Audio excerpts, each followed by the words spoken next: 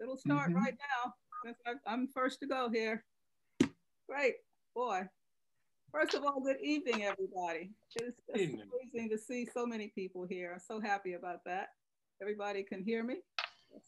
Very good. Yeah. Yeah. Welcome to our AAHGS members. And we have a lot of guests too. I think that's just wonderful to have so many guests. Can we welcome the guests or should we do it later? And I'm welcoming them and I mean to have them introduce themselves. We can. No, timekeeper says no. No, uh-uh, no. Keep moving. And, and, and Deborah, I have your backup. My daughter, she's going to be a moderator, timekeeper too. Good. Mm-hmm. Okay. At any rate, I hope everybody's enjoying their holidays, Christmas, Kwanzaa, everything that comes around this time of the year. Wishing you a happy new year. Indeed, indeed. And I want to welcome you to our very first virtual, well, virtual or not virtual, show and tell. This was an idea that uh, Linda had. She was invited by the Nashville chapter of AAHGS to their show and tell. So she suggested to me that we do that with our chapter. And I said, I think that's a great idea because it's something that I have done with my, at family reunions, two family reunions, we did this very thing and it worked out very, very well. So I was just amazed to see so much interest and I was very happy to see it. So many people signed up had to actually turn some of you away. I'm sorry to have done that, but I think we're going to do this again sometime. So I look forward to that. So um, what amazed me so much besides the numbers is how moved I was by what some of you are going to be talking about. I mean, some things literally just got me choked up inside. I don't want to give anything away, so I'm not going to tell you just what might do the same for you. I was also amazed that some people had photographs and things that were so old, passed down for so many years, wish that I had. And anyway, I think this is going to be a great experience and I hope you enjoy it. Do let us know. And so, since I only get to talk for one minute, I'm going to turn it over now to Carol so we can get the show on the road. Good evening, everyone, and welcome. It's so good to see everyone. And even though we're in a distant areas, um, it's nice to have a meeting of the mind and meeting of people that share similar interests. Uh, I just want to give a note to the presenters that we have timed of three minutes. So you'll, we'll have a timer and just to keep things flowing, there'll be a reminder when the three minutes is up. And then I also want to remind everybody to please mute, mute, mute, because uh, when the presenters are talking, we are going to be able to listen if there's background noises. So with that, I want to start with our first presenter, which is Bernice Bennett. And thank you, Bernice. Okay. I'm going to start off with a photo of my grandmother, uh, her name is Maddie Kemp Alexander, and this is a portrait of my grandmother that was made in 1912. Now, one of the things I want to say about her is I never knew her because she passed away at the age of 32 in 1928, and she's from Edgefield, South Carolina. Uh, this is a portrait that the family had. Uh, I grew up seeing this portrait and we have another one of her. And can you all see this one? Yeah. Okay, that's another, that's a, the same portrait is, I don't know if one was taken as a, a photograph and one was a painting, but again, it has always been in the family. And she's from Edgefield, South Carolina, and she's on the cover of this book, Our Ancestors, Our Stories. The other is of uh, my great great grandfather, Peter Clark. Here he is sitting down, and he is from Louisiana. And Peter Clark was born in 1855 and he passed away in 1909. And this uh, picture was actually taken around 1906 and given to me by my grandmother when she was 100 years old. And what's interesting about Peter Clark is that he's in several magazines. Here he is in uh, Family Tree magazine because Peter Clark was on. Bernice, if you can stop the screen share, then we can see. Okay. Thank now, you. Can you stop? Okay. Can you see this? Yes. Yeah. Okay, he was in Family Tree magazine. Um, in Family Tree magazine because uh, they did a story on the Freedmen Bureau. And I found Peter Clark on the 1868 Freedmen Bureau with his uh, mother and his siblings. And so these are the two that I wanted to share. He's in this book called Tracing Their Steps. And I wrote about Peter Clark because in addition to being on the Freedmen Bureau, he was also, here he is. this is the book. He was also a homesteader. And so I followed, I traced him. I traced his whole life based on a story my grandmother told me that her granddaddy owned a lot of land. So I hope I've made my three minutes. Thank you. Thank you. Um, So we will now go to Alicia Cohen. Carol, I just wanted to remind uh, everybody that if they have any questions, to put them in the chat. Yes. Okay, am I ready? Mhm. Okay, so I'm Alicia Cohen. I know many of you don't know me. I'm a new member, but I'm a neighbor of Steve Hammond and I've known um, Linda for many years. Um, what I will be talking about today is two characters, my great grandmother and my and her older brother. And I started out in 2020 with a goal, and the goal was to find out on my branches who was free and who was enslaved. And I'd heard uh, many stories about my great grandmother, so I started with her. Her name was Louisa uh, Freeman Collins. Can you see her? She was born in 1855. So I had a suspect that she might have been free, but I really didn't know. So I started to look at the, started from the, uh, with her parents on the 1850 census, and they were free people of color. So when she was born, then obviously she was free. Um, as I looked at her more closely, I wanted to look at um, who were her brothers and sisters. Uh, our family had done, for the last 30 years, our family had centered around her story at our family reunions. In fact, one of my second cousins, and this would be her great grandmother also, is Pat Fisher. And Pat Fisher is a member of, of, your, uh, of our chapter. So, but you know, we do these family reunions and we spend a lot of time on food and everything else. So you don't really get the details of your ancestor. So I thought I'd look at her brothers and sisters. So I went down the line. It would have been, I think, the, well, it was the 1850 census, even though my great grandmother wasn't born until 1855. So she was not on that census, but her older brother was. And I clicked on his name using ancestry.com and up came several documents. And one of the documents was the uh, Civil War um, card that showed that he had enlisted as a Civil War uh, soldier, um, United States colored troop. And I was really in shock. I mean, this was a bonus because really what I was going for was who's free and who's enslaved.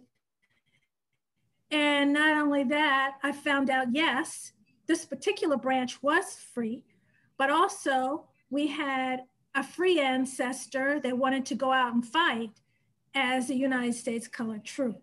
His name was Nathan Freeman, and his family, um, his big sister, of course, was Louisa, who was my grandmother and great grandmother. And um, Time. they, it's time. Time. Yes. Did I say that already? Oh, okay. So I guess I'll close out with the last line is that uh, Nathan Freeman is listed uh, on the memorial, the Civil War Memorial in Shaw, uh, plaque C52. So thank you very much. Thank you. Um, thank you very much, Alicia. And um, we're going to go on to Gwen Faulkner. Yeah, that's me. I'm going to share.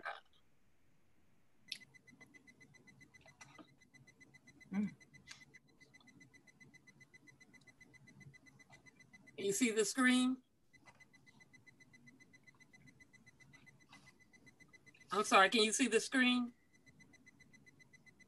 No. No, we can't see your screen. Oh, I don't know why I didn't share. Okay. Uh,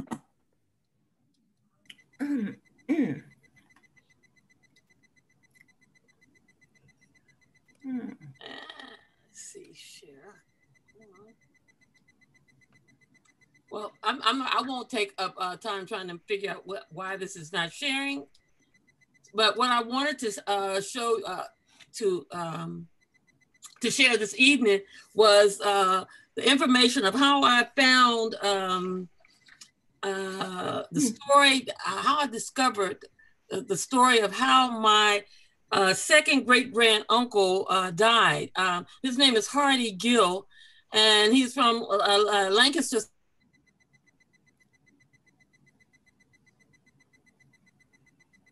Uh, and so he was on my family tree, but I hadn't done anything with the information um, at all. And but I was looking at Facebook one day, and a friend of mine had just was visiting the new uh, museum, the National Memorial Museum for Justice and Peace in Montgomery, and she shared some pictures. And she just happened to take a picture of the the rectangular uh, um, slide, uh, the rectangular um, uh, representation from Lancaster, South Lancaster, South Carolina, and that's where my people are from. And on the on that on that uh, metal uh, plaque, uh, you could see um, I could see two names, and one was Hardy. I was extremely surprised because this is definitely you know where my people were people were from. So I looked up to make sure. Um, that uh, this was the same person. Then I did additional info, um, research and found several articles about this, uh, what happened uh, to him. Supposedly he went to uh, uh, uh, James Clark's house and he wasn't home and he um, had a confrontation with the wife, beat her and um, and threw the baby across the floor. But anyway, he was arrested, taken to the Lancaster jail, and uh, a couple days he was taken from the jail by a group of men, uh, and they found him like maybe three or four days later, shot, um, uh, and um, with many bullets, and of course, you know nobody knows up the the um, the the governor at the time.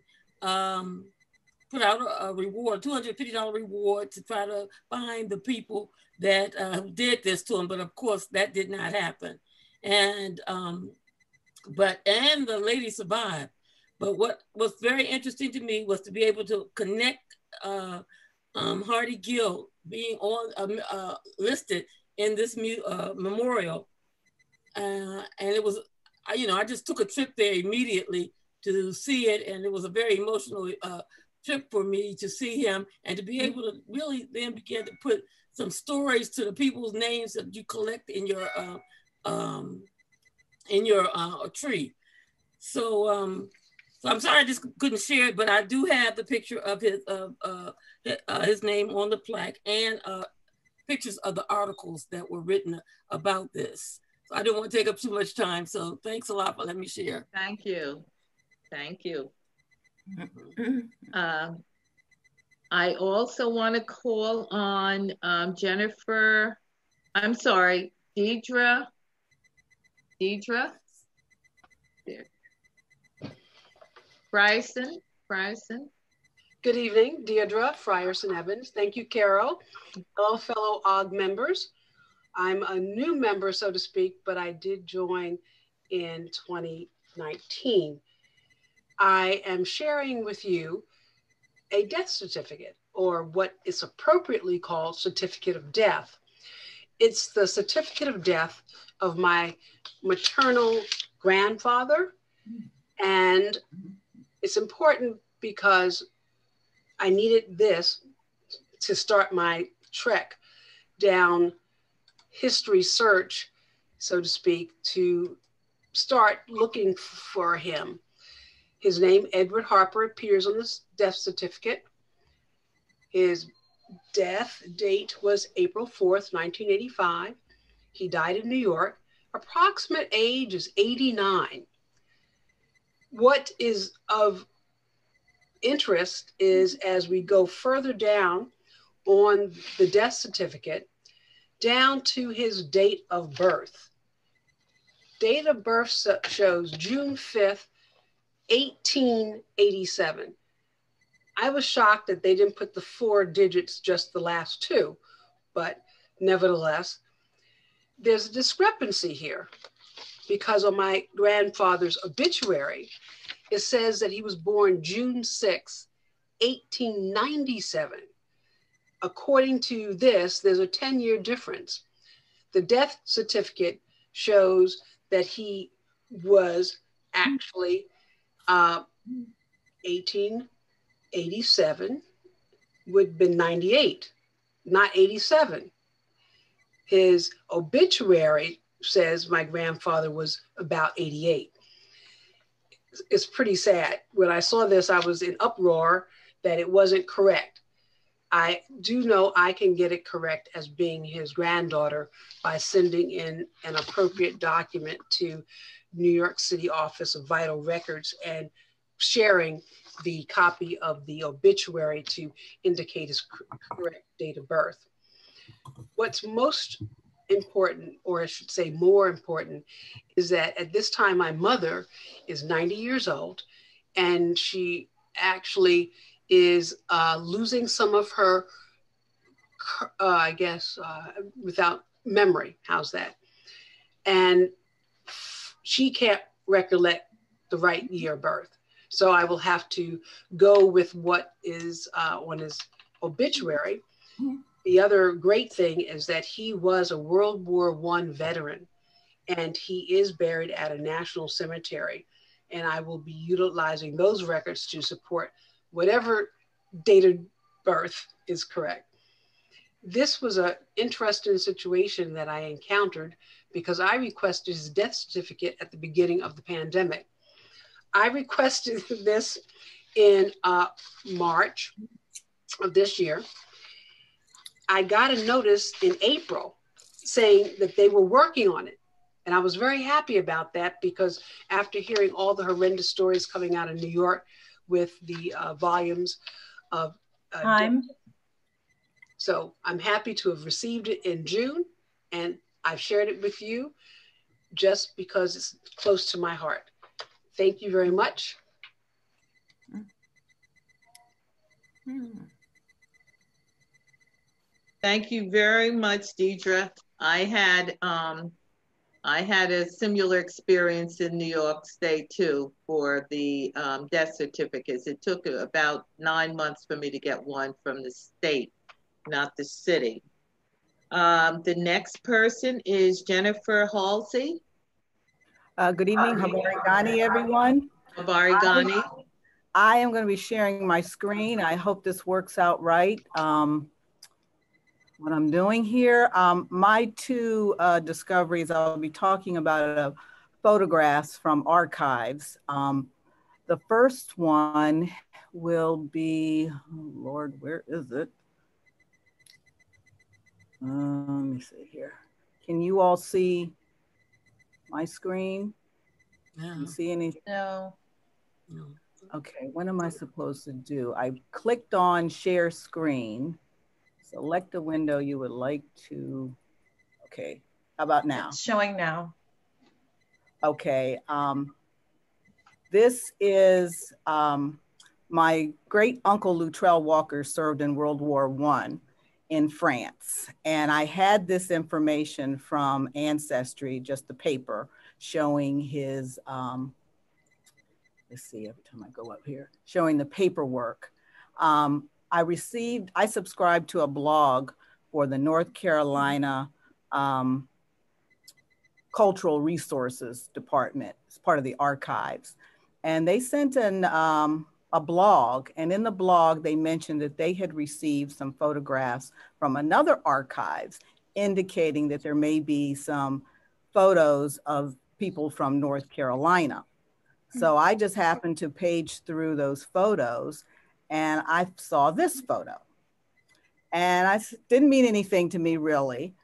But as I enlarged the photo and looked at it closer, if you can see my clicker down here in the corner is written in that white ink that they used back in the day. And it lists the name of the regiment, the 349th. This is taken in Hoboken, New Jersey on March 9th. And I said, taken on March 7th, I'm sorry, March 7th, 1919. And I said, hmm. So I went back and I looked at the paperwork from Ancestry if I can, this uh, thing keeps pulling up. Anyway, I looked at the paperwork and I started looking at the dates and I said, well, these dates here, 3rd of March 1919, Hoboken, New Jersey. And then I go back and I look at the photo. Long story short, I said, I think this is his, this is him. This is his regiment. I said, he's in this photo somewhere. So I enlarged it as much as I could. My father is still living, my aunt is still living. They're the only two people who know or living who knew what he looked like. And after enlarging the photo, we have figured out that this is him. Oh. And uh, we don't, this is the only the second portrait that we have of him, photograph that we have of him. We have one of him when he was a much older man, but this one, I was just thrilled to find this. And um, I'm in the process of getting a, it's a panorama. So I'm in the process of getting a, a copy of this in the panorama. And then we're also gonna have him, his image blown up. Um, time. Time, okay.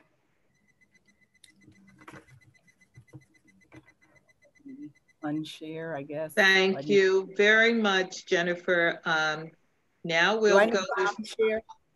Hmm? Oh. Do I need to unshare or is it okay? Yes, please. Okay, so oh, I don't know how to do that other than to just go like that. It's, I don't know how, I don't know how to get the unshare. Up at, up at the top, there should be a little tag that says stop sharing. Stop video, I hit that one. Nope, not stop video, stop sharing. Oh, I see it. I see it. There we go. There we go. Thank well, you. Thank you. Um, I, I will now go to Cheryl Hamlin. Cheryl? Cheryl, you're muted. Oh, there she is. I see her. Yeah, okay, there you go. Um, I have a few items um, from my Hamlin family. And let's see if I can get this turned around here. Uh, as a teenager, there was always an enamel box on the bookshelf. And um,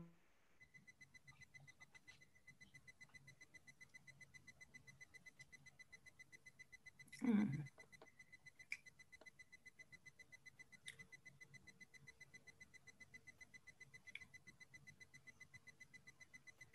Mm. Mm. I just have one thing to say. Linda, it says chat is disabled. That's so. what someone else told me, but okay. um, it's not Cheryl seems to be frozen. If we could come back to Cheryl. Okay. Cheryl, um, can you hear us? Cheryl Hamlin, that is. The next no, one is also a Cheryl yeah, Cheryl Hamlin, um, we're going to have to come back to you because you seem to be frozen. I'll, I can call her or text her as well. Okay. And we'll come back. Okay. So Cheryl McQueen. Um, hello, everyone. I too am a relatively new member, and um, I will be quick because I am at the beginning of um, my research. One of the things I like about this chapter is um, I've had the opportunity to learn from people who have been so um, meticulous in researching their family. My maternal grandfather um, was born, uh, Jim Coley, born in 1870. And so he was like 80 something by the time I was born. So we didn't spend a whole lot of time together. But in trying to learn more about his life, what I have come up against is what I call myth versus actuality. You know, family stories about him going off to Pittsburgh, marrying and getting run out of town, coming back, remarrying someone um, 20, 50 years when he was 50 years older than her, only to later find out by visiting the cemetery that none of that was true because I found the wife and I found him.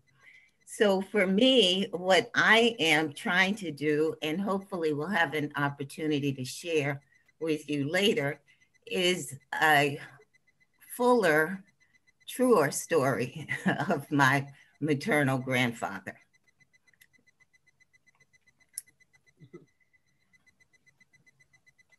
Thank you very much, Cheryl. Um, our next speaker is Deborah. And Deborah, I was going to ask a favor of you. Besides your presentation, would you introduce the video that you have to share with us? You're on mute.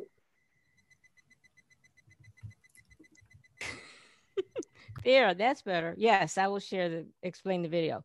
This is my mother's high school diploma from the Gates County, North Carolina Training School.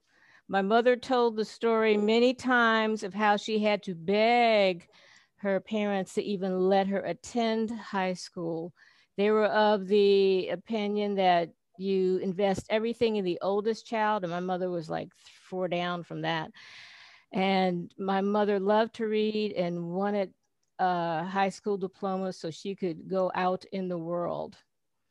The class only had 30 people in it. She would love to tell me I was salutatorian. And I would say, Well, there was only 30 of you in the class. That's no big deal. But I am very proud of my mother.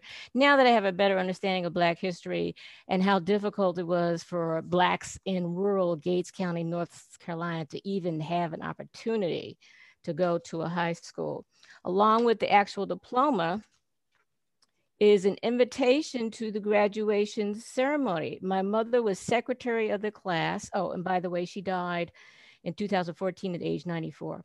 She was secretary of the class and apparently made by hand because, hey, no computers, cut and paste this little invitation. The school colors were blue and gold and she cut out gold paper and glued it on the side to make it fancy. And the interior listed all the 30 graduates of the school. So I'm very proud of my mother that she got a high school diploma. Education was so important to her. And she lived long enough to know that both her daughters, both her children and her grandchildren got advanced degrees. That's that story. As for the video, I was on the National Museum of African American History and Culture website looking for something, saw a link to YouTube, clicked on it, watched a two minute, 30 second video, and my jaw dropped when I saw myself in this video.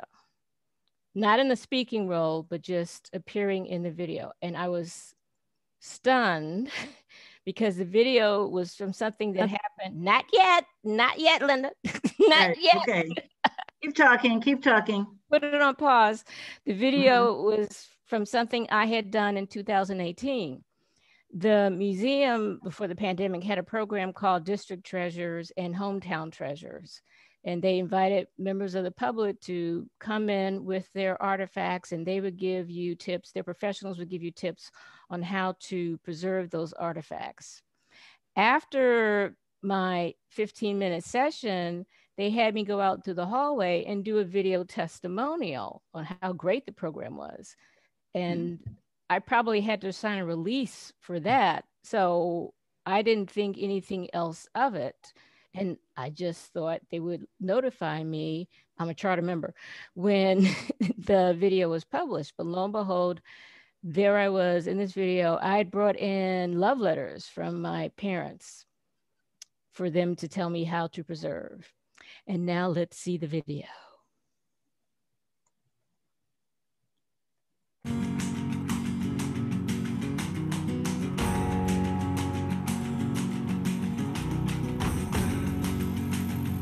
Deborah will appear at about 57 seconds the National into Museum the of video. African American History and Culture offers two unique programs for the public in an effort to preserve and protect family heirlooms and treasures. District Treasures and Hometown Treasures. The first, District Treasures, is an in museum interactive program. District Treasures events will be in Washington, D.C. at the National Museum of African American History and Culture. Participants will be able to bring up to three personal treasures and meet one on one with the preservation specialist and learn how to properly care for their heirlooms. Afterwards, the participants will be Here's free to tour the museum. Many of the items people bring for review include, but are not limited to, pictures and photo albums, books, family Bibles, postcards, wedding dresses, uniforms, hats, quilts, jewelry, tins, dolls and figurines, and other collectibles. The second program is Hometown Treasures, much like District Treasures, except the event travels to select cities. Participants will be able to attend local venues with educational workshops, professional reviews, and expositions. You don't have to be in the nation's capital to take advantage of the program. Everyday items that you own, such as family photos, military uniforms, farm tools, decorative items, or even wedding dresses, are deteriorating in your basements and attics, or maybe in plain sight, in sunlight, and at the risk of being lost forever. Teaching basic preservation techniques helps us in our mission to save these objects for families and for institutions. Thank you so much. If we don't act now to preserve our treasures, the tangible evidence of a critical component of American history will be lost to the ages. Let us help you to keep our history and culture alive and well. Visit our website today to plan and schedule your adventure to preserve your cherished heirlooms. Thanks, Deb. You're welcome. Thank Good you, stuff. Deborah. Quick question: Has anybody else on on this call or on this meeting um, participated in the Treasures Program at Linda, NMAC? this is Jennifer. I've attended uh, in DC and and Baltimore, and Mm-hmm. Okay. um, yes, Great. excellent. Okay, I moving attended- along. I I'm sorry, I was out of order, but I was just curious. Go ahead, Carol. Okay. I, I just want to insert, I've been working here and I was reminded I did not wear gloves. I did not have gloves on, Deborah, so I'm going to have to get out. And I've got a whole box because of the virus, so I shouldn't, there's no excuse. Um, we'll go back to Cheryl Hamlin. Is Cheryl, are you on now? There she is. Yeah. All right. All right. Um, this, do you see my um, photo album? Uh, was always in my household. As a teenager, I went in uh, and went through the photo album and found this. This is a picture of my great grandfather, Captain James Edward Hamlin, and his wife, Annie Fouché Hamlin. Fast forward to 1977, their granddaughter died, and we were looking for a picture for her obituary. We looked in a box under the cousin's bed, and we found this paper, 92 year old paper, the North America, North Carolina Gazette. Raleigh, July 20th, 1885. Oh, wow. In that, it talks about a brilliant marriage. Um, the marriage of James E. Hamlin and Miss Annie W. Fouché was instituted on the evening of the distinction and re respect and popularity of the accomplished Society bell linked with the notoriety and respectability of the groom, were sufficient to gather the assurance that this was the grandest of occasions. It lists all of the people who were there and what they gave. They got a doorbell and a spittoon, among others. And then it talked in terms of a grand reception was given to the friends generally on the evening of the at the new residence. This is actually a copy. The original I took to the North Carolina archives. They told me to laminate it and I should not have done that, but I followed their instructions. So this is just a copy of it. They had not, they did not have a copy in their files. And that's it. That is awesome. Great. That's mm -hmm. really cool. Thank you very much. Um, so the we'll North now. Carolina Industrial Association also sponsored the North Carolina State Colored Fair for 50 years. That's the first oh. time I didn't know they had a publication. That's the first time I've I've seen that that group had a association, and it was founded in the 1870s. Wow! And racism killed it in in 1918 in 1930. Yeah, there's just so many different things you don't know, and you just research and find it many years later. That's so true, Mark Marvin. Thank you. Um, so I guess we'll go on to Carol Miller. Yes. Hello. Hi, Carol. Hi, Carol. Hi. Uh, I do wish I knew how to use the uh, computer. Uh, I'm going to read a letter. My grandmother came to Washington from York County, Virginia, and she joined her older sister here in 1905 about 1920, my grandmother married Thomas Christopher Burrell, and he was from a small community called Sassafras, which is located in Gloucester County, Virginia. York County and Gloucester County sit on opposite sides of the York River. Uh, grandmother's sister Lula Ann had married E.J. Lee from Gloucester, and they had four children. And Lula Ann had died in 1913 when she was 35. E.J. then married Rebecca, Ray is Lula Ann's son.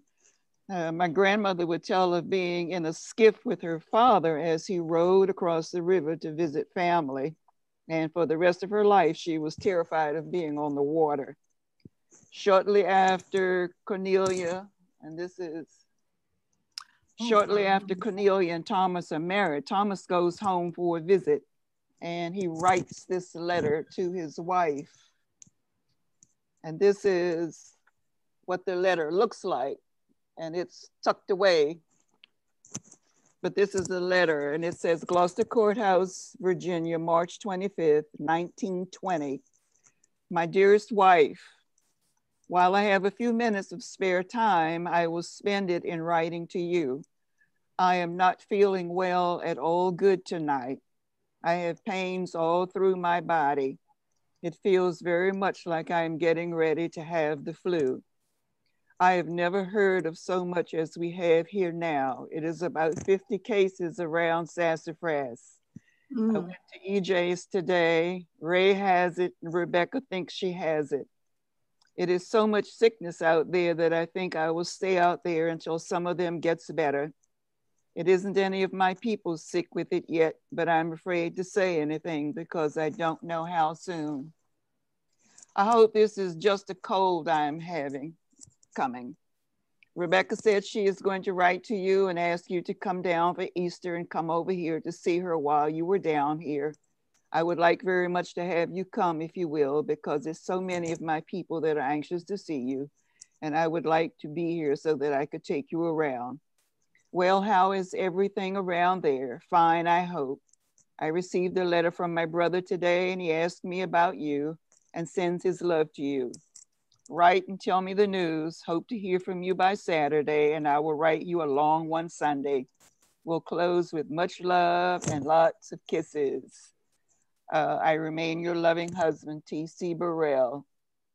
Uh, during World War One, while in the Army, Thomas was trained as a mechanic. While on a job transporting heavy machinery, there was an accident, and Thomas Burrell is killed oh. at the age of 45. And he was taken home to Gloucester, and he's buried in the cemetery at the family church, which is Bethel Baptist. That's wow. the end. Thanks, Carol. Thank you. Yes. Well done. yes. And so we're going on to James Morgan. Uh, good evening, everybody. Habari Gani for those uh, celebrating Kwanzaa. Um, uh, so my uh, submission for today, can everybody see that? It says you started screen sharing, but it's not on the screen. Okay, give me one moment. I, I think I know what the problem is. One moment. I'm sorry about that. I was trying to have it full screen and you still can't see it? No. What about now? No? No. It was coming through the first time. It was just a couple seconds delay. Okay.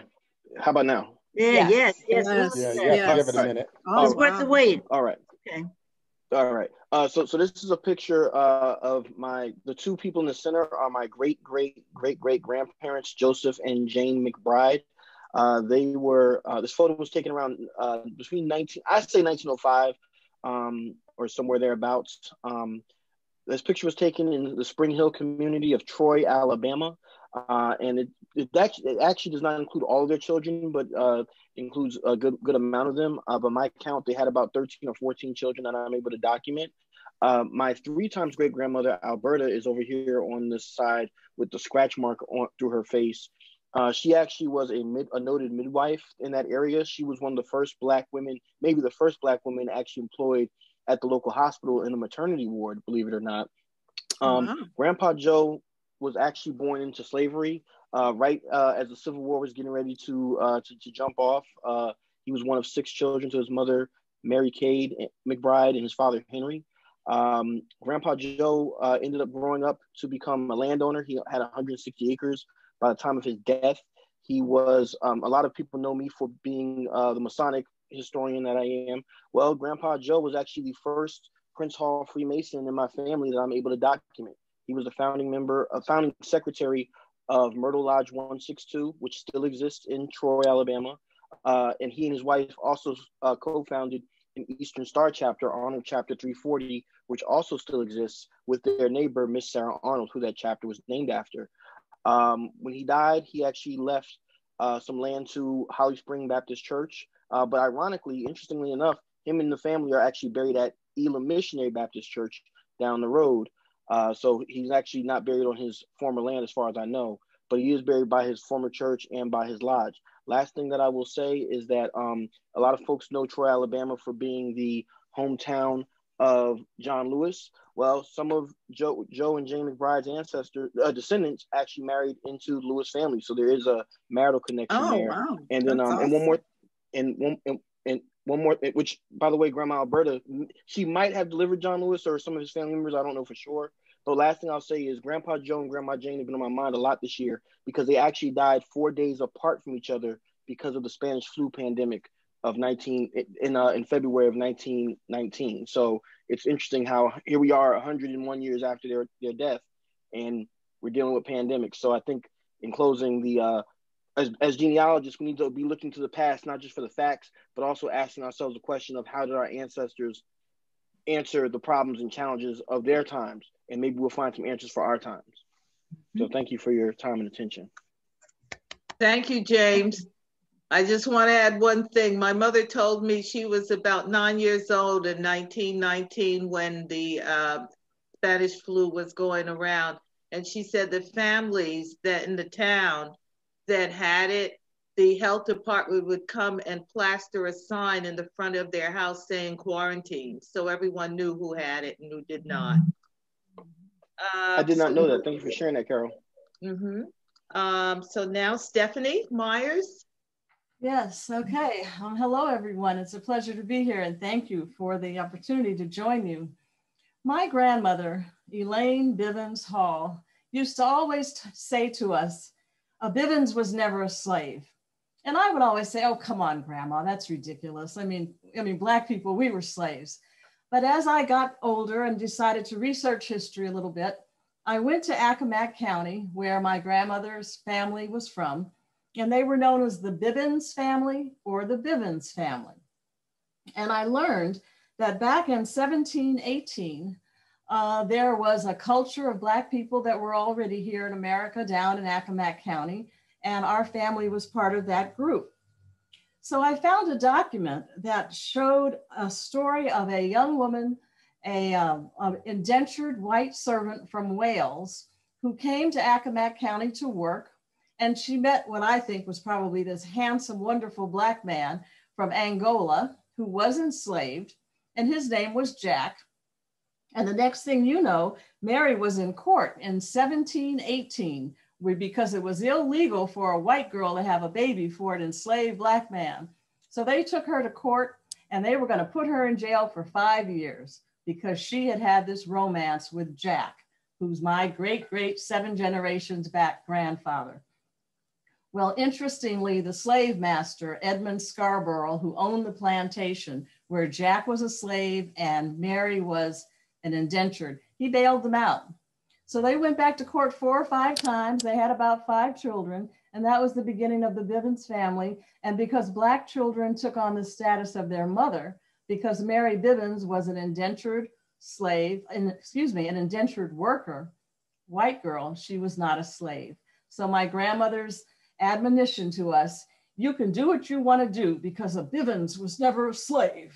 That's what she would say all the time. Well, she was right. The Bivenses or the Bivens as they were known. And then I brought a picture, which hopefully Audrey can pull up.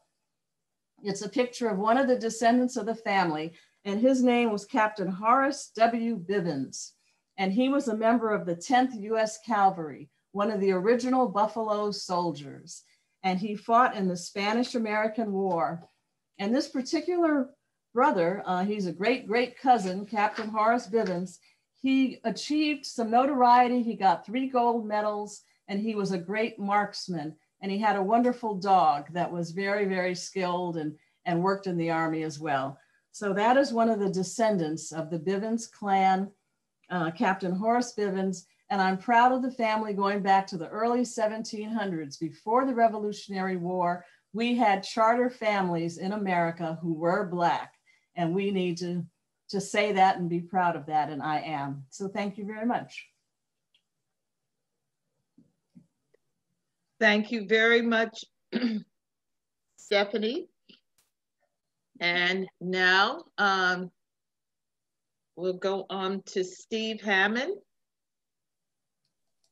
Steve? Hi there. Yeah, good evening, everybody. Hi. Uh, I want to share with you, I don't know if you'll be able to see this very well, but this is my second great grandmother, Margaret Syphax. And she was um, the daughter of Nancy Syphax, who basically was enslaved at the Decatur House in Washington, D.C. And so I want to tell you a little bit about, uh, about Margaret. Uh, she was born around 1818 uh, we believe that she was sold down the river approximately 18 between 1830 and 1835. So she would have been sold as a as a young teenager. Uh, and for the last 20 years or so, we've been trying to identify what happened to Margaret. And this last several months, we've actually located her owner. It turns out that she was actually sold to a woman. Here is a, I wanted to show you this other piece here. You can see here, this is a document of her son, Peter Joseph. He was actually in the uh, United States Colored Troops. And when he enlisted, he basically was asked, Were you a slave? And he responded that he his father basically purchased his freedom from this woman named Mise Cornfranz. And I had no, I, you know, I played with that name over and over, could not figure out what it was.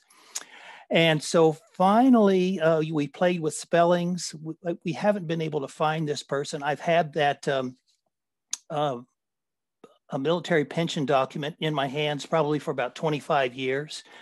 And in the last two months, we've actually found Mise cornfranz. And it turns out that Mise cornfranz is, we had it spelled incorrectly,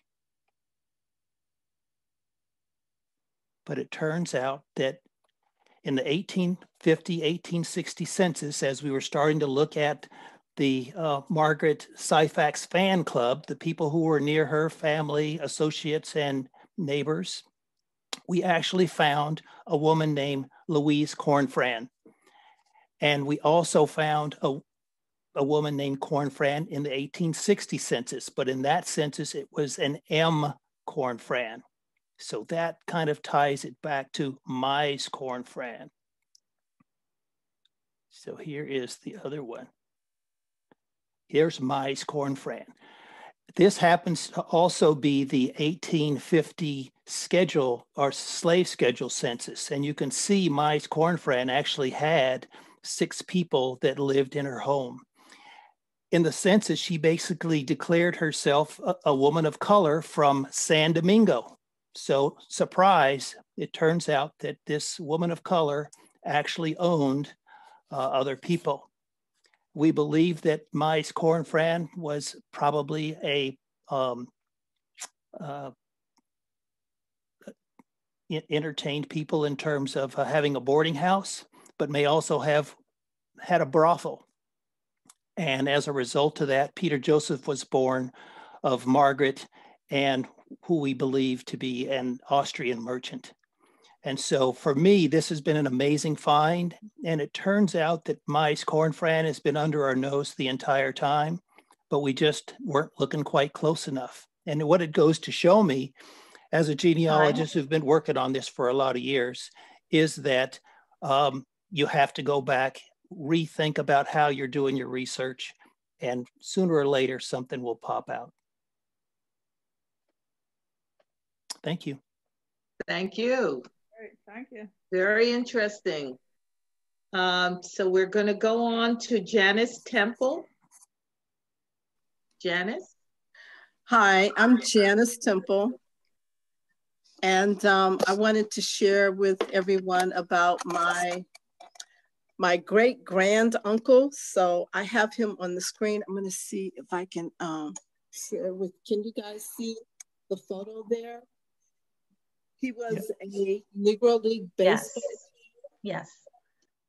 And um, his name is Robert Bobby Anderson. He was born in Chicago in uh, 1899.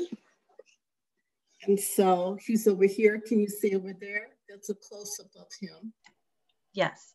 And so this is the Chicago American Giants 1920. And he's also listed in the book, um, Only the Ball. Only the ball is white. Oh, let me go back to the book. Let's see. I'm trying. Can you see the book? There it is. Only the ball is white. So he was a major contributor to Only the Ball is White, a history of legendary Black players and all Black professional teams by Robert Peterson. The book is important um, because it is the first book that recognized Negro League baseball players.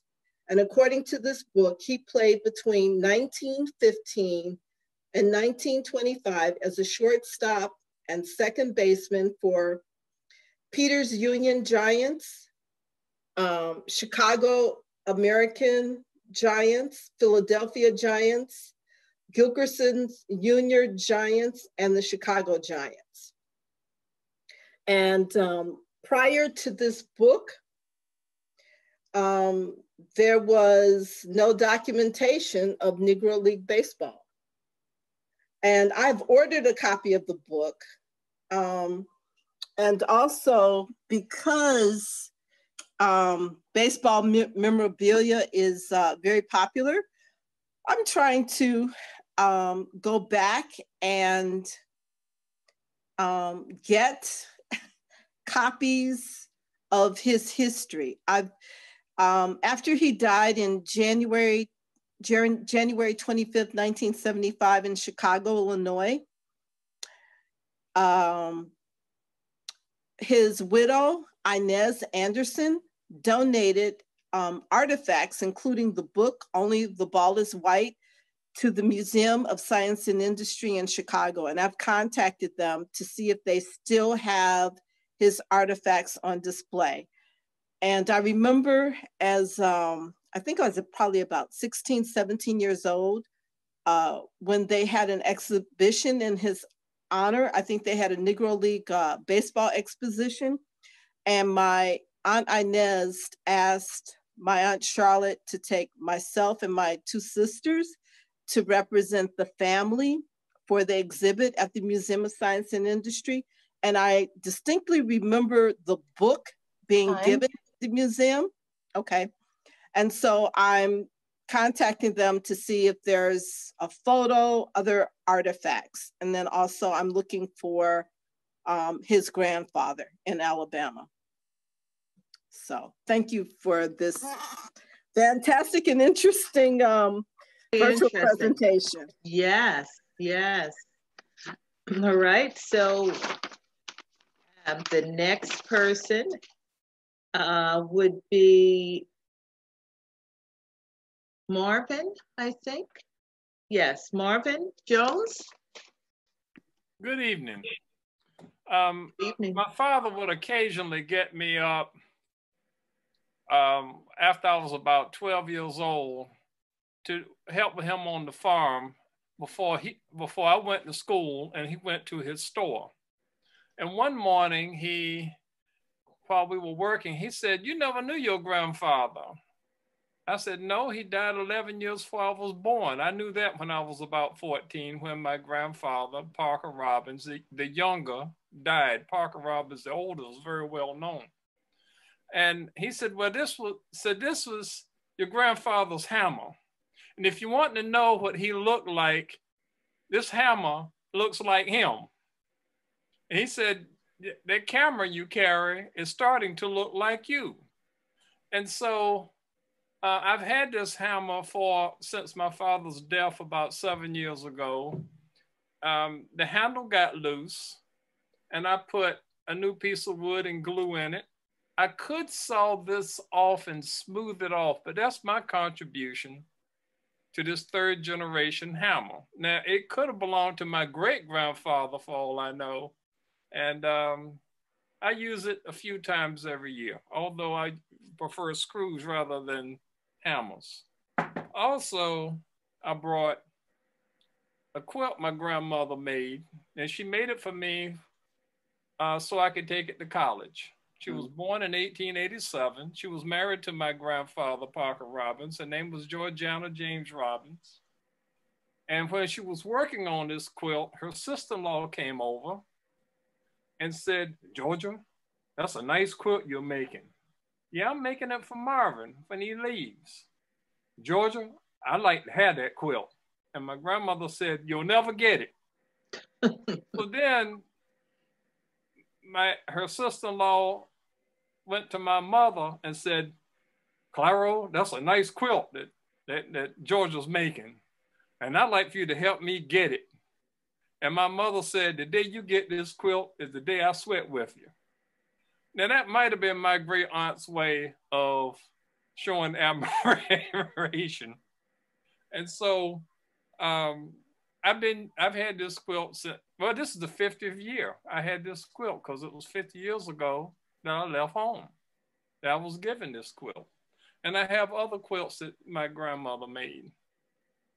Um, and that's my contribution for this evening. Oh, I do want to say about uh, Deborah Grimstad's mother being from Gates County, which is which is the neighboring county to uh, my county, Hertford County. when Deborah's mother was born, there was no black high school. And so um, Gates County Training School was a new, was something very new to the community and, and, and very daring. Most rural southern counties did not have high schools until the 1920s. Thanks, Marvin. Wow. Thanks, Marvin. Well, thank you, Marvin. My pleasure. Leslie Richards. Is Leslie here? Okay. Okay, so if Leslie is not here, I guess it's my turn. And you'll have to excuse me for a minute. Um, this was as a picture of my great grandmother, Elmira Purdy Bell, who was born in 1836 in Harrison, New York. And among the things that were found at my grandfather's house was one of her cookbooks dated 1853. Uh, now, what I thought was interesting about this cookbook is that it had the sunrise and sunset for major cities on the East Coast in 1853.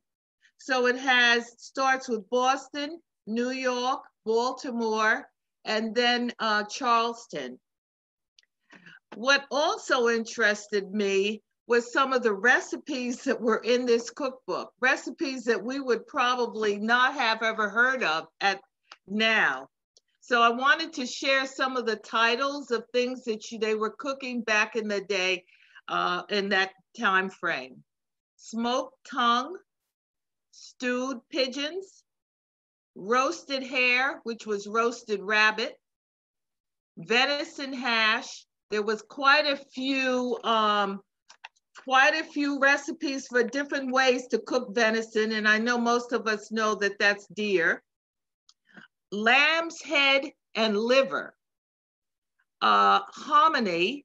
And when it talked about how to make hominy, it's also subtitled it a favorite dish of the American Indians. At the end of this cookbook is a special section that said dishes for the sick and it had different recipes for you to have for a person in your family that's sick, including calf's foot broth and something that we would probably know now, chicken broth. I'm sure that was a precursor for chicken soup when you get sick. In addition to that, I have um, a small journey journal entry by my grandmother, who was born in 1878 in Harrison, New York. And she writes about what um, they had for Thanksgiving dinner. And it says, We observed this day in a quiet way. No one except our own family took dinner, but we had a good dinner. We were all in good health, so we enjoyed it. The dinner consisted of roast chicken, pickled beets, sweet potatoes, boiled turnips, white potatoes, pickled peaches, sweet cider, and pumpkin pie. And then she added no callers. So I guess they didn't have visitors that day. For Christmas, she wrote no callers first. And then said, we had dinner at two o'clock. Mama, Elmira, and Grandma and I were the only ones at dinner. It consisted of roast chicken, smashed turnips and potatoes, baked sweet potatoes, pickled beets, stewed tomatoes, bread and butter, apple pie, cider, and coffee. Florence came in in the afternoon and stayed all night. We had a Christmas tree in the evening from which we got some bountiful lots of candies, cake, mince pies, peanuts, and so forth. And that was the end of her, her entry. Thank you. That was very nice. very interesting.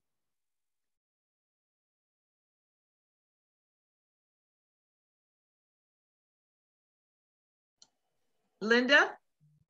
Yes, Grayland Presbury. Gray, I saw Graylin. Oh, good. Is he okay. muted? Hi, Graylin.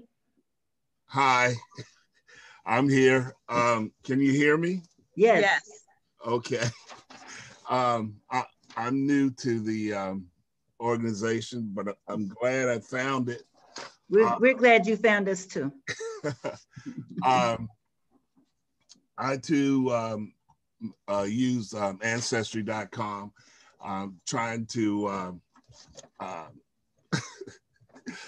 uh, identify um, my ancestors. Um, and I recently came across something that was pretty moving to me, um, and it is the um, it's the draft card. Let's see. Uh, it's the draft card. In fact, I could probably, um, if I can share, I can bring it up. Let's see. Is it here? Oh, here it is. Of uh, my great um, grandfather, John Warren Addison. And um, if any of you know, uh, uh, is it is it coming? Let's see. All right, it's just a little slow. So, um, where did I see that? Uh, he actually served in both World War One and World War Two, but um, here is a view of his um, draft card from World War One, and uh, I was just surprised to see this and his handwriting because it's kind of familiar. Um, John Warren Addison. He lived on Warren Street in Northeast Washington, D.C. It's near Lincoln Park. It was my understanding that he actually owned three homes um, on that block. Now, I knew he owned 240 Warren Street because that's the house that um, my mother and, and uh, moved into in the late 60s. Um, he was born in 1889. And it says here uh, that when he was age 28, he lived at 259 Warren Street. So I imagine um, that was one of the homes. Um, I also understand that uh, he was a Pullman porter, but I don't have any documentation of that. Um, he was also a Shriner. I've, I've seen his regalia that was how it was it was um, kept in the garage um, and i also have an old radio that i've kept that was once i believe it was once owned by him just judging by the the size of it um, so this is what i wanted to share um, my uh, some some um, evidence of my great grandfather uh, Graylin, yes. I'd like to make a comment. It says that he was a bricklayer and worked for Harry Wardman. Very, very clear. Do you Yes. know who Harry Wardman was? Uh, Wardman was an architect. Well, he was a builder. He might have also been an architect, but for sure he was a builder. A and he built, I don't know what percentage, but a high number of these, what we now call typical DC row houses. And people study Wardman homes. So it would be interesting to find out if that house on Warren Street might have been a Wardman home. It would also be interesting to know if, um, since you said he, he had owned, you said John Addison had owned two or three homes somewhere. Yeah, Just Warren maybe. Uh-huh. just just maybe, if he worked for Harry Wardman, Wardman might have, you know, given him, him a, given him a deal. I don't, I have no idea, but that's something you might want to look into. And possible. it's possible to do what's called house history research. Okay. Um, you can find out if that house was a Wardman home. There's a whole database of architects and builders of the homes throughout DC, and I'd be glad to share it with you. Well, you know, there's also the Wardman Towers. Um, yeah. On Calvert Street or somewhere. Right. Mm-hmm. Yeah, so Harry Wardman built not only row houses, but big buildings too. So yes, uh, I, that's a, I, I did some uh, research on my neighborhood, and if I'm not mistaken, Wardman was one of the builders um, over here in Southeast. He was a prolific builder. So oh. you and I can talk about that. Yeah. Great. yes. Okay. That's why you came to us. We got to help each other, right? yes. Yes. Okay. That's my contribution for tonight. Thank you. Thank you. And uh, can you stop sharing? Yes. Okay, good. All right. There we go. All right. Thank you. And welcome. Thank you. All right, Carol. Well, at this point, I want to thank everybody. Everything was so interesting. Well, I just do I share like mine I'm, now? No, oh, oh, yes, Linda. Yes, it's I'm sorry. I, listen, I want to thank everybody too, but I also want to share a couple of things. Um, you know, I love Bernice's story, and can everybody see my screen? Yes. Okay, so this lady is Goldie Glover Bruce. She was my great great aunt. No, no, we cannot see your screen, Linda. Oh, you know what? Wait a minute. It's because I forgot to share. I pulled it up behind here. I'm sorry. Let me get back to Zoom. Boy, share screen. Okay, here we go. Now. Got it. Yes. Thank you. Need all the help I can get. Okay.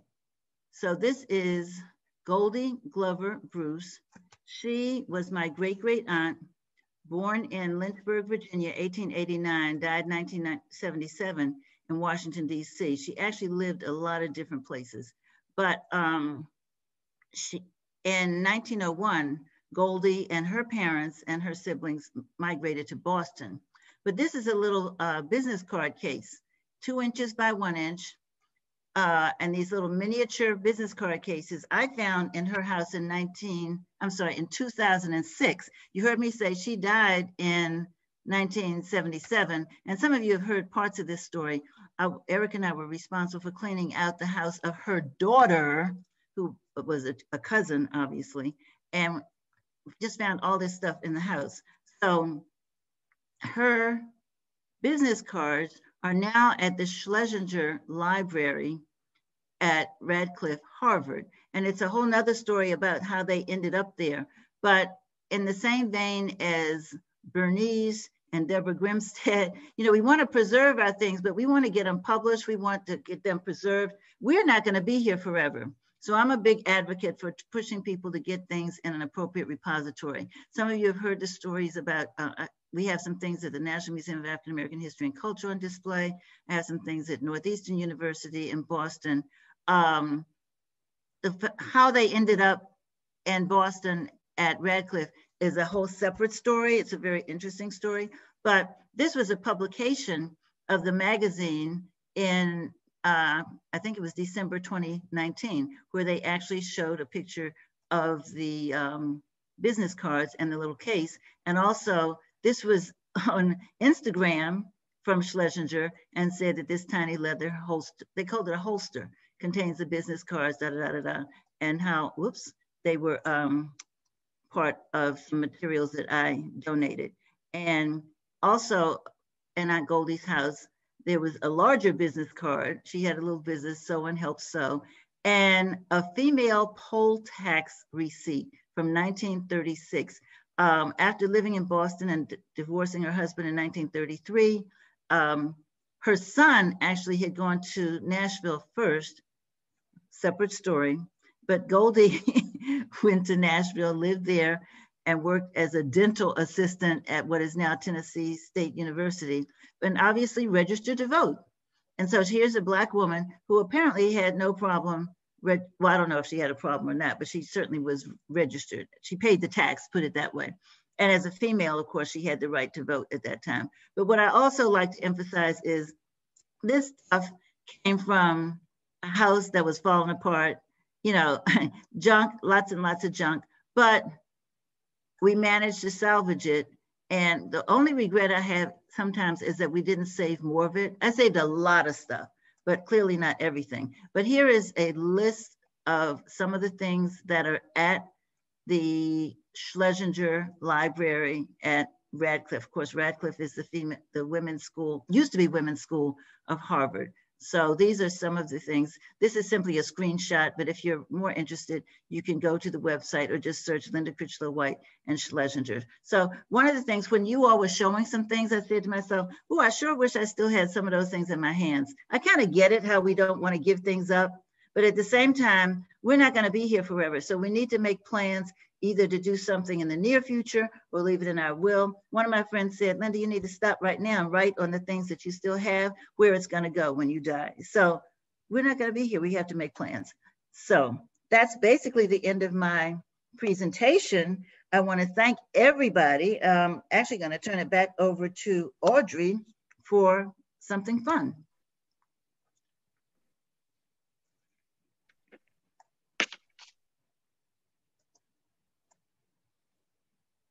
Audrey, you're muted. Yes, great, thanks. Wonderful, thank, thank you, thank you, thank you, all of you presenters. I think this was just fabulous, lots of stories. What I really got out of this, besides listening to what you had to tell us about your objects, was now we know what you're researching and there are probably people who've listened today who are maybe working on the same surnames or same geolo geographical areas that you might want to get in touch with. So feel free to do that. And another thing that's helped me is that I can now put faces with some of these names because I'm a relatively new member of the organization also. So why don't we take a couple of questions and then I'm going to pull a name out of the bucket here. We've got two door prizes. Anybody have any questions they want to ask right quick? Let me see, get on the floor. Almost everybody's muted. So if you have a question, oh you know what? Somebody can read what's in the chat. Who's yeah, I wasn't saying to Let's see. chat, but um, let me see. Somebody Most people just asked mm -hmm. James if he was going to have his photograph preserved. James, was your picture an original that we were looking at or a copy? James, are you there? Maybe not. Did James leave us? Um, anybody have any questions out there? Uh, this is Jennifer. I just wanted to make a comment. Um, I'm one of those people that's having a hard time letting go of my artifacts. Uh, most of my artifacts are photographs that are um, 100, 100 years or older. Um, and that that's actually how I got started in genealogy was looking through family photo albums and being fascinated and uh, wanting to hear about who these people were from my grandfather. And when he got ill and we had to run down to North Carolina to bring him up here, I grabbed the photo albums. And I was really glad I did. And I've in the process of having I had them all copied, most of them copied. Now I'm having them digitized, but I still am holding on to the paper. and I will be making arrangements to donate them. Um, but it's it's hard. it's yeah. Hard. Jennifer, who is digitizing them? Um, what I've done is I've gone to the uh, treasures. Um, I went to one in Baltimore a couple of years ago, and I, you know, they were, told us we could only bring a few, but I bought an entire suitcase. And when my turn was up, I was sitting at the table outside the um, office there and, you know, kind of going through the photos. And one of the young ladies from the Smithsonian saw them and she said, Oh my God. She said, We need to get copies of all of these. She says, Do you mind? And I said, No. So I spent another two hours there while they copied and all of my photos that I had. And I said, Well, what's going to happen with them? And she says, Well, they're part of the Smithsonian now. She said, um, They may never come out of storage. She says, I don't know what's going to happen to them. But she, she says, You know, do you mind? You know, I signed some release forms or whatever. And I said, No, no, I have no problems with that but uh, I just right now I just have things on a flash drive. that they gave me. But um, I've been told that that's not the greatest place to have them.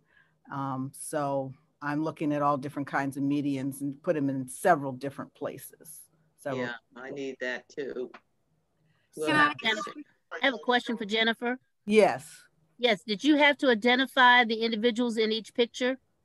No, at that time they did not ask me. They did not ask me. They asked me about, a few of the photos, and I know I would say uh, probably 90% of the people, because I did ask my grandfather and grandmother, you know, who is this? Who is this? And they would say who it was. And I did write it down. But I just recently came across a photo, which I believe may be, it looks like a tintype to me that was sent to me by a cousin and we so, have no idea who this person is in the photo. So Smithsonian didn't ask about the names as well. No, they okay. they didn't. No, no. Mm-hmm. That's sad. I wish they would have. That's important to identify who they are. I'm trying to do what they call um, oh god, I can't even think of the term, but like posting pictures on websites and and Facebook and just asking people to help identify or crowdsourcing. Yeah, crowdsourcing. That's what I meant. Yeah. I think Marvin Marvin looked at one of the pictures I had of um, a young man, and I love the photo. I don't know who he is, but I'm claiming him. it, it, came from a cousin. And I, real quickly, I have one real quick funny story. There's a beautiful, beautiful photo I have of a couple um, and their baby. And it's obviously a studio photograph. And they are so handsome and so beautiful. And the picture is in excellent condition. And so don't know who they are. And it's in one of those cardboard frames from the studio, no hints, no clues or anything. But I put them in the front of the album because I just love them and I just love who they are. And years ago, I was talking to my, my aunt, who's the oldest living member of the family, and I said, "Do you have any idea who these people are?" You know, it's you know somebody in the family. It was in the family photo album, and she glanced at it real quick and she said, "Oh, I think that's the pastor and his wife." and I was like, "Darn, darn! I thought these were our people." but, but they're still in the album, and I'm claiming them. so anyway the local TV stations posted a woman and a family right here in DC that they're trying to find who this album belongs to. Oh, God. Album of pictures. Okay, folks. Well, here we are. Must be present. Who's that? James. Somebody looking for me. There was a question or something for me. I, am sorry, I had a phone call. James, we um, can't hear you.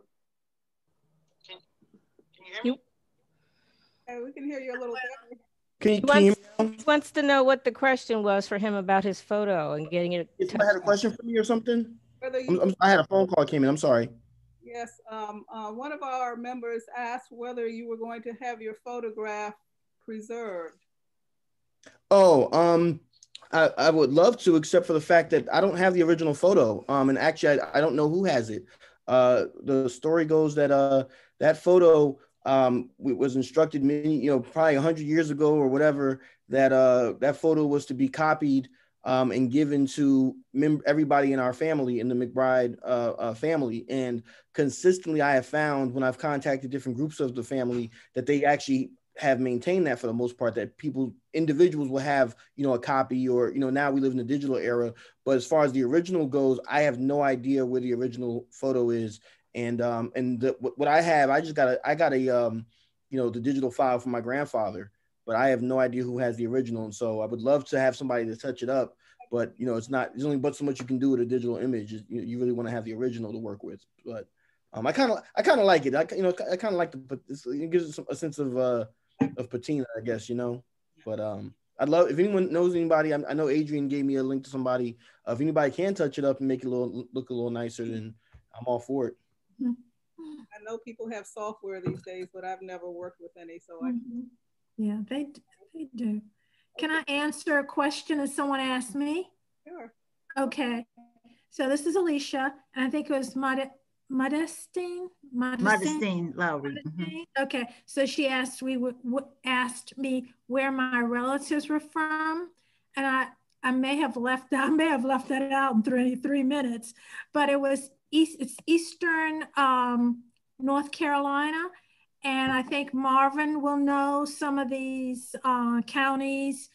Um, Hyde County, Hyde County, Craven County, Pamlico County, all those areas. And as far as over where Marvin's family is from uh, in North Carolina, they had high, they had large numbers of free people of color. Uh, very similar to who was the woman, the member who said, um, what was her family, uh, who had the Welsh woman and she had mulatto children. So a lot of these same families, yeah, a lot of these families are very similar. Very difficult to trace back how they became free, uh, but there were large communities that married free people of color, and in many cases, the law um, did not allow them to marry people who were enslaved unless the master, unless the owner agreed to it. So whole, in fact, if Bernice is still there, um, Bernice did a podcast with um, Warren uh, Milter, Milteer, and he has a whole new book on North Carolina's free people of color, 1750 to 1885. It's something if you're interested in free people of color, Virginia, South Carolina, Louisiana, um, you know, it's a good place to start. Thanks. So thanks for the um, question. Um, thanks, Alicia. Alicia? Thank you. Yeah. I, would like to add to what Alicia said. Uh-huh. Um, when she mentioned Freeman and Collins, I mm-hmm. said, I said, okay, they're talking about my neighborhood because because we do have Collins and Free and Freeman's in my in my region. Uh, yeah. Uh, Freeman's particularly in Deborah Greenstead's Gates County. And hmm. Collins in the county in my county, south of my county, and Gates County in Southern Virginia. Mm-hmm. Also, I talked with Ira Berlin, who was a historian at University of Maryland, and he had written uh, in Paul Heinegg's book, Free Af- collection, Free African Americans, right. that a lot of mixed race children had white mothers yes. in, the, in the Chesapeake Bay area. And so, mm-hmm. uh, of course, of course, ben, Benjamin Banneker's grandmother was was, yeah. was white, and um, Elizabeth, Elizabeth Proctor Thomas's ancestor was a white woman who married a black man. So you had a lot of that in the Chesapeake Bay area, and they moved, and and their children and some of the women themselves moved into Eastern North Carolina. Um, mm-hmm. Warren Milteer started off his research by staying at on our farm, and I would show him my area uh, when he was an undergrad student. Wow. Now he wow. stayed on our farm and here in DC quite a few times. Oh wow. And it's just one more thing, because I know you're trying to end to close out, but a lot of these uh, free people of color were also triracial. Yes. And especially in Hyde County, where my family was from, and they lived in a small group which was called Mattamuskeet. And that's how they were listed on the 1850 census, a clan of about 100 people. So, as Linda said, that's another story. and we could go on and on and on, but I really think going back to a couple of the other people that when you're looking at your family, check the 1850 census, uh, the 1840 census. Um, don't assume that every branch in your family was enslaved mm-hmm. because uh, they weren't. So, right. okay, thank you for the question. Thank, thank you, Alicia. Yeah. So that we can move along and we want Linda to close out, but not before we give away some prizes. What do you say? We have two door prizes. Since we're all, not all, but anyhow, most of us are doing our family history research. My co-chair, um, Carol and I co-chaired this little event. We decided to pick two books that were how-to books. we might be past there, but maybe if you don't want it, you can pass it on to somebody else. So the first prize is a book called Practical Genealogy, 50 Steps to Research Your Diverse Family History. Mm-hmm. It's by Brian Sheffey, who I understand mm-hmm. is one of our speakers one, one, one of our meetings. I think I might. Yeah, Brian has written one of the books about free people of color. Yes. He's done a lot on that. So I know um, Diane Baxter and someone else asked in the chat about books about free people of color. Okay. Yes. Good example. Okay, so anyhow, I'll close my eyes and draw a name out. Must be here to win. is Chris Williams. Is Chris Williams here? Chris? Chris Williams? Chris? Speak now. Okay, gotta go to the next one. Whose name this is? Eric Johnson. Oh, yeah. Eric, Eric is here. so Eric, all right. Thank you. So Eric, um, I'll send you an email after. Okay. You can see where you want your books at. All right, sounds great. Thanks. Okay, and the second book is by Robyn Smith. It's called Reclaiming Kin, Helpful Tips on Researching Your Roots. So let's see who got that one. Laura Dyson.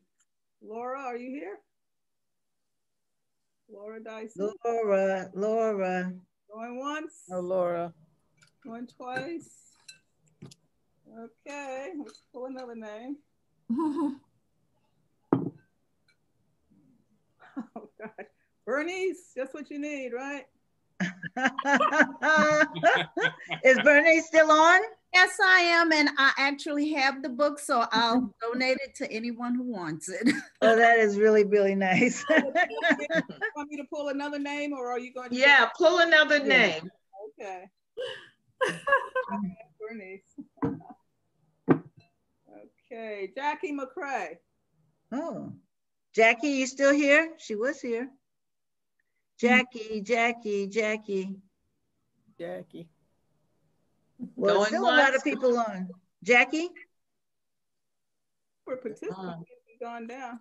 All right. Susan Hall. Susan Hall. Susan. I'm here. I'm oh, here. good, good, good. Okay, there you go. then let me see you. Say something, Susan, so you'll show I'm up. here. Susan Hall's here. Oh, Susan Gibbs Hall. Pretty grass. Is that you with the bucolic background? Yes, that That's is beautiful. the is that the um, foothills of Amherst County, Virginia. Oh, all right. Mm-hmm. It's beautiful. Hey, Susan. Uh, that's where my ancestors walked at my, mine times. too. They still live there. that's beautiful, though. Wow. And what was the name of the last book? It's called Reclaiming Kin: Helpful Tips on Researching Your Roots by Robyn Smith, R O B Y N, if you want to look it up. So thank you. I guess I have your email. Yeah, I have your email address. I'll get in touch with you. I just I'd like to say that Robyn is a local uh, genealogist that uh, presents a lot mm-hmm. also, so we're familiar with her. In fact, I just won her book a couple of weeks ago. right. mm-hmm. I out of the hat at one of her webinars. Okay, right. um, Linda, would you like to close this out, please? I think you all have just done such a phenomenal job. I, I just applaud you for doing this. Um, and that's a big hint to other people. And I've said this before, I'll say it again. Don't wait until you're asked to do something. Come up with an idea, you know. And, and early in the year, after the program committee uh, generated the list of programs for September to June, we put on there that there might be some surprises throughout the year. So this is the first of what might be, I don't want to say many, but there might be some more surprises. So you all might come up with something. Uh, I think Audrey and Carol have done a phenomenal job of hosting this, but mm-hmm. maybe we would turn the hosting over to somebody else. I don't know. Suggestions are welcome, but thank you very much. Okay. We all learned a lot and we're looking forward to the next session, whether Carol and um, Audrey do it or whether somebody else does it. Thanks everyone. and Thank have you. a good rest of Kwanzaa. Thank you. Thank you. Long. Yeah, very well. Bye, James. Good to see you, James. Bye, Audrey. Bye, everybody. Great job, Sarah. Bye, Oh, everybody. for those of you who are still Bye, on, everybody. I do This want to was remind our guests, we welcome new members. So Carol and Audrey or I or somebody, we will send out information about how to join our chapter. Great. Okay, awesome. Love that. Take care. now. Happy New Year. Bye-bye. Oh, I think I saw. Happy New Year, This has been amazing. Proclamation Day. Amazing. Yeah. Learned Yeah. a lot. job, everybody. Good. Safe. Bye. Bye-bye.